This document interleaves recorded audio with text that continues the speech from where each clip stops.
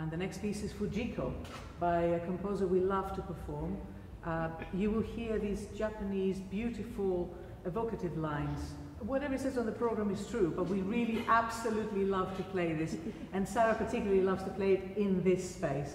So enjoy.